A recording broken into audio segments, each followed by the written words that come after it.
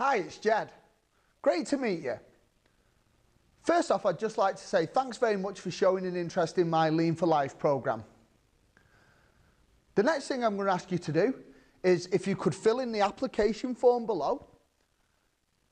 Please give me as much detail as possible on the form so I can make sure that the programme and you are a good fit for each other.